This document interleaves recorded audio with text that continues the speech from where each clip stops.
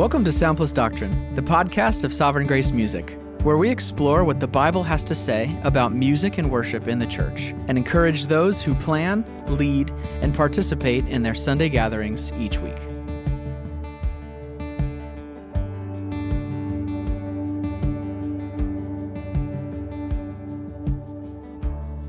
Hey, welcome to the Sound Plus Doctrine podcast. My name is David Zimmer. My name is Bob Kauflin, and we have the best guest we've ever had Yeah, on right. the podcast. That's probably true. What-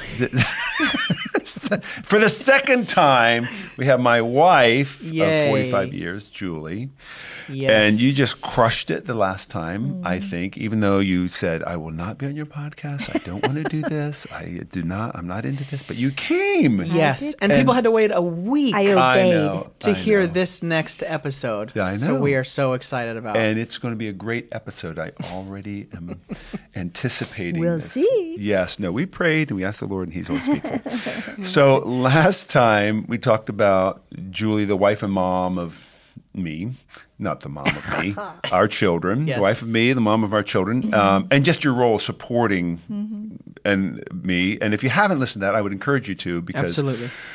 it's not just that you're supporting me you are you are finding have found fulfillment uh, doing what god you believe god has called you to mm-hmm. do in, in these different roles.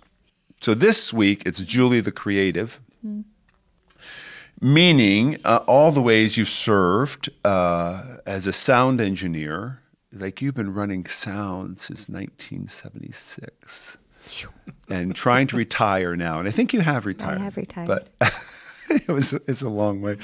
Uh, and a vocalist for a number of years, and a set designer. You have designed countless sets for the Worship God conferences and for Sunday Albums. gatherings and albums, Yeah. and um, and then giver of hospitality.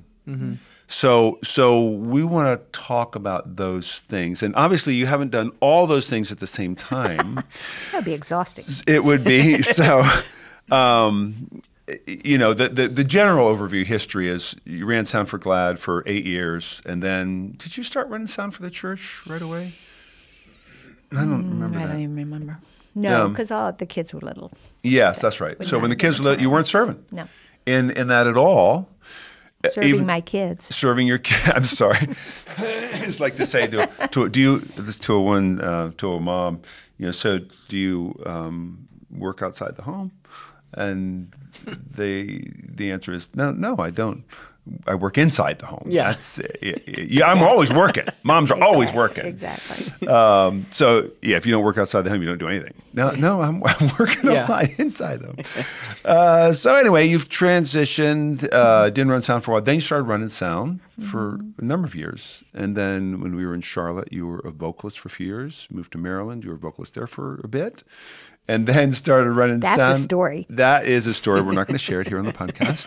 And then we, uh, you were doing more running sound. You did that for a lot, um, and then have just shown hospitality for forty-five years. Uh, Yeah. So, how, what's what was it like to transition from one season to another? So, Mm-hmm. you know, from just being a mom to doing the sound, and were you okay with not doing the sound because you'd been doing it for eight years with the band and how have you processed all that? I think the number one way I've processed it is uh, by how my kids are doing.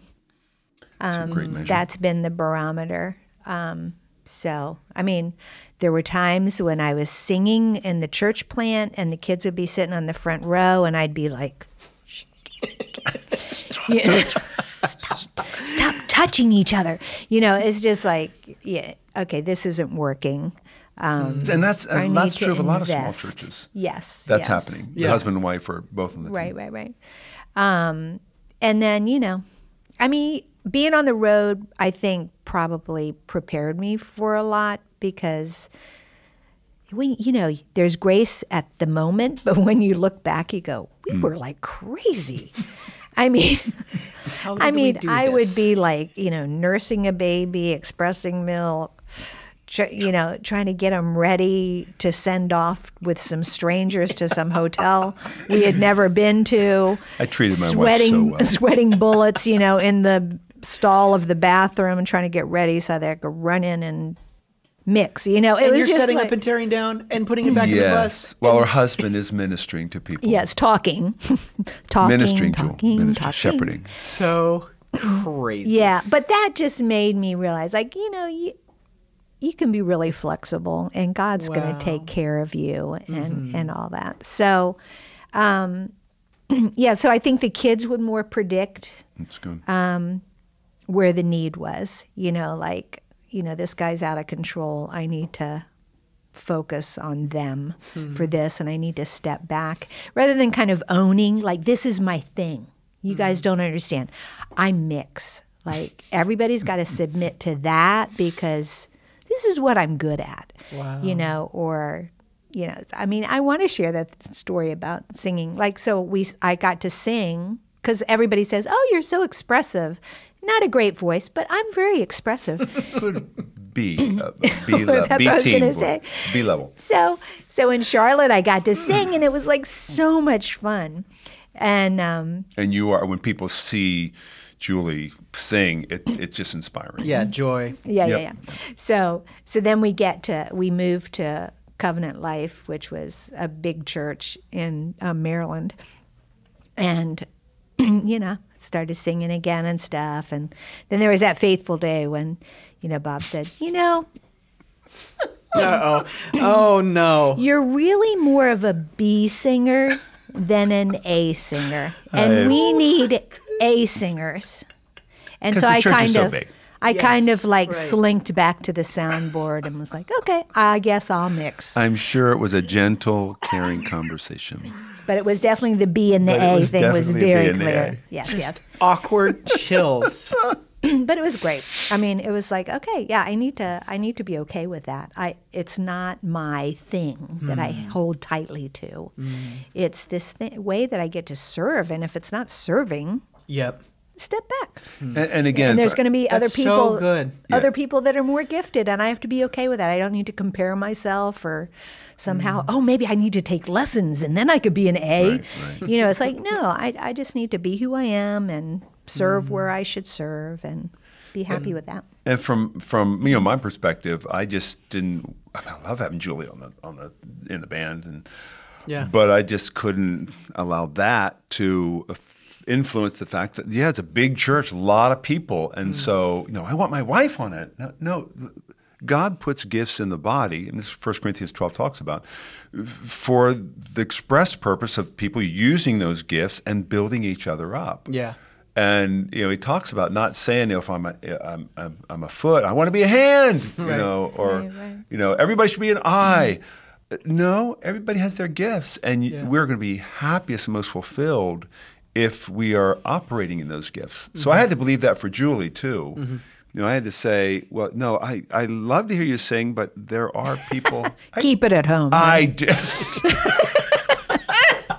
I love to hear you sing, but uh, there are people who can sing better, and you know, and Yeah. and you're really gifted in these other things. Right, so right. Yes, but if You you are really and if you're not holding on, just like you said, Yeah. Julie, if you're not holding on to that so white knuckle, like so tight fisted, it it frees you up to go. Oh yeah, I can serve in a different capacity. Yeah. Well, it's We've whether talked- you're serving or whether you're like, trying to this impress. is my thing. Like, this is my identity. And if I lose this, Yeah. like, who am I? It's like, no.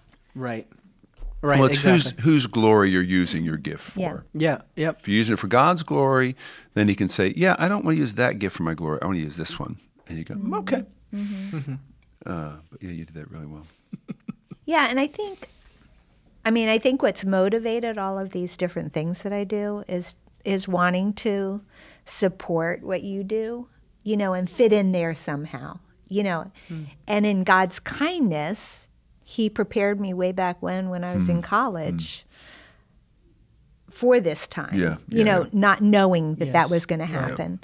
Um, so I remember, I mean, with set design, you know, so that was, you know, in 19, what, 70s or something Yeah, when I majored 70s. in that. and then thinking, okay, that was cool.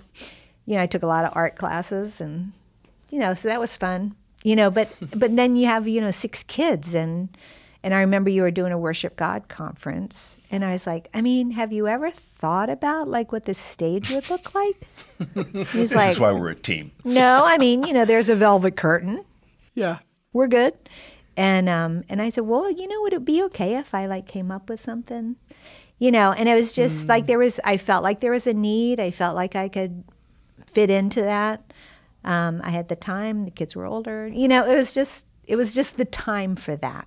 Yeah, that's It, so it wasn't Yeah. something that I should have been doing when the kids were like, you know, one three, to five. eight Yeah, or something. yeah. You know, it was just Yeah. like, no, this is this is the time that God's bringing this one out. This is so great. you Yeah. know? And so how how easy to, it is for us to sort of push everything aside, even responsibilities. No, no, no, no. God's called me to do this. I need to do. yeah. And we can be so narrow-minded in our focus. Uh, but again, I'm just reminded that God has used so many different elements of your story to bring Him glory in different seasons. Very cool. Well, It is it's- amazing, yeah. It's this combination. Uh, I mean, one of the questions I wanted to ask, and it just leads right into it, of of being supportive. I mean, I, I always felt your support, but then being creative. Mm-hmm. You you take initiative. So. So I remember that conversation. I had forgotten it, but where you came to me and said, "Have you ever thought about doing something?" You know, now I kind of just assume it that you like when I have a conference. Well, you're going to design it. Um, and then I've taken pictures of you just like with the miter saw, you know, building stuff. Like, Yeah. and our neighbors, even where we live, they they will say, "Oh yeah, your wife was building something out there. What's she doing?" And, well, she's been on a set for a conference I'm doing, Yeah. and um, you you just have been so faithful. But how do you Mm-hmm. balance that? Like, okay, this is this is my thing, and uh, versus I want to support what you know Bob's doing. Well, because you're really talented at it, and so also the element of humility. How, how do you has to be. humbly support, Mm-hmm. but also be creative? Well, I mean, I'm not the best at that because he At trusts. being humble. Well, yeah, I think you're humble. yeah, but I feel like you've given me a lot of like rope to be able to do stuff. I do trust you implicitly. Yeah, so you trust me, and I come up with stuff, and it's like I don't even run it past them. I'm just like, yeah, this is what we're gonna do, Yeah. you know. And it was interesting because the last album, the Psalms album, I like had a really specific is not out yet. vision, right? Really specific because there were going to be videos. Um, of what this set was going to look like, and Mm-hmm. I spent all this time making this stuff, and this like there was green was going to be kind of the theme, you know, it's the Psalms, and I was so excited about it, and I made these flats They were like color gradation of green, and And I how was, big are those flats? Uh, four by eight. Four by eight, yeah. Yeah, so I made six of them So they're massive. and then I did some wood ones.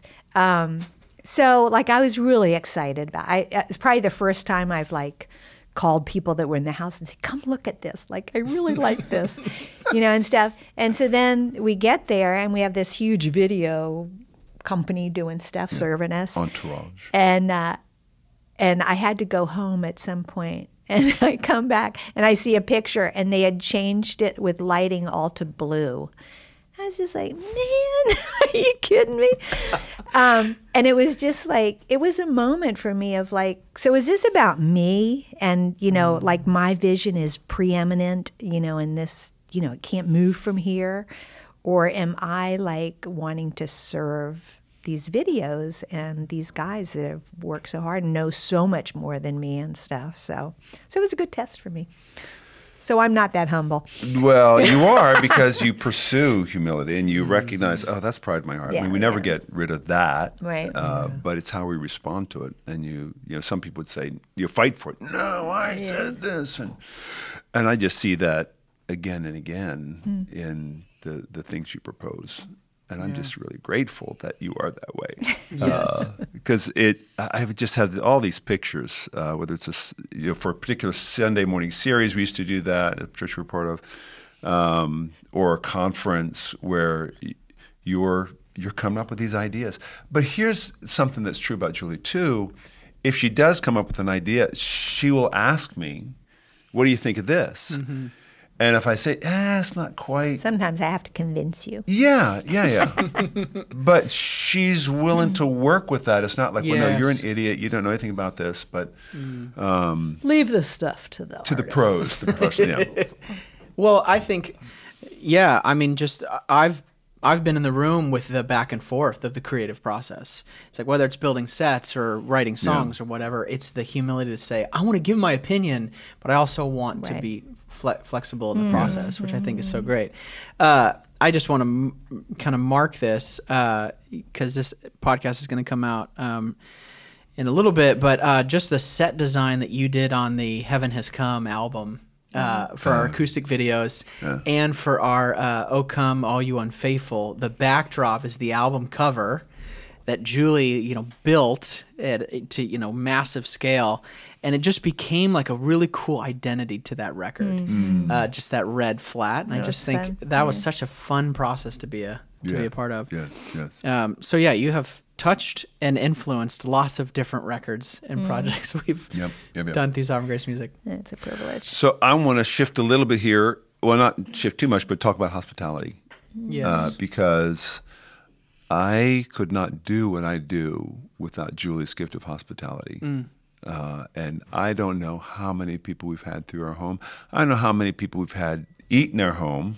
I don't know how many people we've had stay overnight in our home, and how many people we've had live in our home. David and Jules Me being a testimony yes, that. for a year, um, and could do none of it apart from your desire to Hmm. bless people with your gifts. So, how do you think about that? How, how, why, where does that come from? Because you didn't grow in a home, grow up in a home like that. Nope. Um, what, what about the gospel? What about Mm. your relationship with the Lord makes that so easy for you? Obviously, He's gifted you. God has gifted you in that. Yeah, and I hope people aren't feeling like wives, especially like, oh my gosh, not another thing. You know, I mean, I do have a strength in this. So, Yes. yeah. Yeah. Hmm. But it's it's grown over the Absolutely. I think. I think part of it. But let, let me Oh, say, sorry. even when we were living mm-hmm. in a two bedroom row house in Philadelphia, we had some people live with us, and you would always want to have people over at our home. When we were living in that four bedroom apartment in Virginia, we would always have people over to our home. Mm-hmm. So I, I, it, it is true that you've grown and our Mm-hmm. ability to do things have grown, but that desire Right. to bless people in our home Yeah. has been there for as long as I've known you. Mm-hmm. Well, it was definitely born out of um, we growing up never had anybody over to our home. I mean, that was just you just did not do that. Um, and when I was converted, um, and we were living in Philadelphia, I was going to school. Um, we weren't married yet, I think. Um, somebody, there was one music student um, who she had an apartment and she would have us a group of students over and she only had like a little like toaster oven or something but she would cook like baked you know chicken breast stuffed and i mean it was just amazing. She was so gifted. And so that was like that's that's amazing. And then um, later on this couple that was part of our church invited Diane Gluskin. invited a bunch of us over to their house. And one of it was like, oh my goodness, they like they live in Philadelphia. They like have a home. Um, we'd never seen that before. Wow. Uh, I think they had a child, I don't remember. maybe.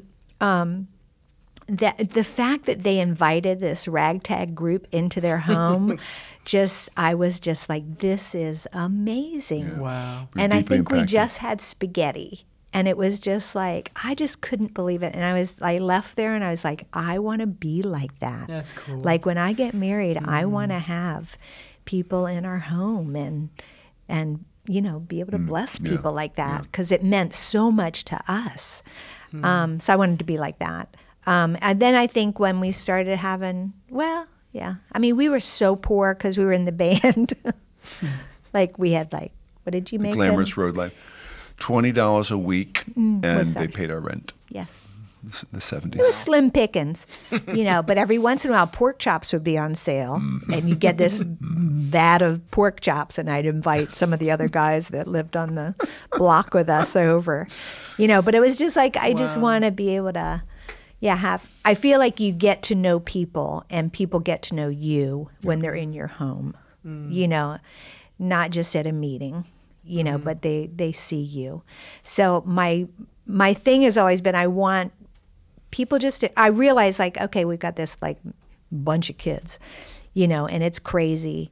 Um, so the way this is really going to work is if people are just can just come and feel a part of our family. Yeah. Yes. Yes. You know, um, I How can't. do you I can't. do that with young kids? Well, you adjust your expectations. I mean, I think some people. And I don't know if this is across the board with like Christian, but it's like everything. There's this expectation that everything has to be perfect in Yeah. order to have somebody over. Yeah. So how can we keep the kids quiet? How can everything be cleaned perfectly before somebody steps in and I have a nice flower arrangement and everything's perfect? Right.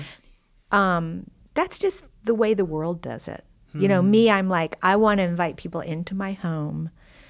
They're a part of this family now. They're This is the way we live. Yeah. You're welcome to join us. Yeah. Yeah. If you don't like that, fine. But Yeah. this, this is the way it's going to be. Yes. You know, and um, so that just takes all the pressure off. Mm-hmm. Like, oh, how, you know, uh, you know, the baby's crying. Oh no, you know, and you start sweating. You know, it's like, no, babies cry. You know, right. what's, what's baby the big cries? surprise?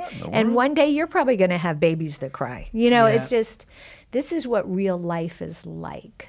Well, and if you're serving your guests, which you guys do so well to get to know them and build relationship, it's not, oh, how do they perceive me when they walk into my home? Right. Yeah. It's more of a, I, we, we're, we're extending our service and love Mm-hmm. to them. And hopefully it's the same way they're perceiving you when you're like doing ministry. Like uh, one of the things I love about doing the Worship God conference, which I, we do every other year since like 2006, four, six, um, is doing it here. We've done it other places. Is that we get to have like speakers and musicians into our home Yeah. because I I want to create a I I don't want there to be a gap between who we are publicly and who we are in our home. So it's just great to have people come in. I mean, they'll they'll come in after you know, the, the evening. Used to be we've uh, changed the end time of the day now, uh, end time of the meetings, but um, they come in at like ten and stay at like one. Yeah, and then we're there.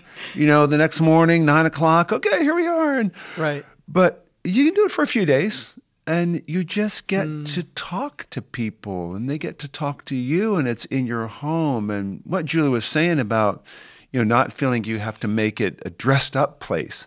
I mean, sure, if you clean your house, I mean, you should clean your house, but not all the time and not, Yeah. you know, only when people are coming over. It's just, no, we we have a schedule. We, we keep things kind of clean and, um, but if you have an opportunity to have someone over on a Sunday, uh, so I mean now we have family over and whoever's living with us on Sundays. So Julie's making meals every Sunday, pretty much. She keeps asking me, "Can we go out?" And we do go out occasionally on Sundays. Still trying Um, but- after all those years. but uh, you know that I can't tell you what a, a, a joy it is for me as a worship pastor, as a pastor, to know that I have a wife who loves to have people in our in in our home. Um, because I want them to see the gospel is ne- not just about what we do in a meeting. Right. That's great. The gospel is about the way we live our lives. It's about the way we love each other. It's about the way we love our children. It's about we, the way we love them. It's about the books we've read. You know, they'll come into our home and see, oh, you've read these books. It's about you know the things that surround our home. That the gospel has an effect on all of those. Mm-hmm. So Yeah. Mm-hmm. why wouldn't we want to share those with Right. people and and not great. feel that pressure to kind of impress? Yeah. Yeah, I mean, one little tip I learned early on was um, because we're a much more spontaneous people. I mean, just our We are- tend to be more personalities. spontaneous. Maybe it's poor planning. I don't know. but um, It's a strength, Jewel, not a weakness. strength, it's a yes. strength. um, but I just realized like I need to have like a cleaning schedule so that I know that my house is relatively clean. And if Bob calls up and says, "Hey, can so and so come over tonight?" It's not like a oh, oh my gosh, I've got it. You know, it's like no, eh, yeah, sure. Yeah. You know, um, I would always you know take out extra chicken breasts or you know whatever just to know that I have that ability to Yes, yeah, yeah. to flex into things. Now, part of that is having six kids. Um, so adding a few more people to that mix is is not a huge deal, you know, because I'm already cooking this Yeah, vat of yeah, yeah. stuff. Right. Um, so that's that really has has just hel- I think it's just primed me for that. You know, when you have one kid, you're kind of like, oh my gosh, we're gonna have a family over. You know, yeah, and. I feel bad. You know, right now with my cancer, people are making meals. I'm like. Yeah. Oh, sorry, guys. We have like two other families living with us right now, and you know, you this isn't just more? me. This isn't just me and Bob. I'm so sorry. You know. No, but it's a. one- I mean, it's a. a But that, yeah. being able to live with you, you know, and our two kids in your basement, uh, it it just. I mean, you guys have put on display what true, you know, hospitality and selflessness looks like, and we've benefited from it. I mean, that's that's the thing. It's there's so much benefit to the recipient.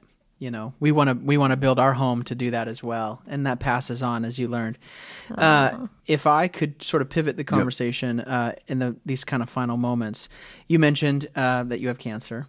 Um, and uh, I, I wanted to ask the question: how, how do you guys process that together? Uh, how, how do you process trials uh, as you've gone through seasons of trials Had a few. in your marriage? Uh, and and in what ways do you guys strengthen each other? Well, we definitely uh, depend on the Lord first, but depend on each other. I mean, there are times when Julie's really strong and I'm kind of freaking out, and there are times when she's anxious. Anxious would be a good word, um, you know, and and sh- I can help her. Um, maybe I should let you talk about this first. Just Well, I mean, specifically about cancer. Like I've just, you know, you wrestle through things, but you have to, I always have to, my foundation is what I know to be true about God. Okay, I know He's all powerful. I know He can do anything. I know He's good and He's faithful. And He has mm. only been faithful to me and He's mm. only been good to me. You know, oh, you have cancer.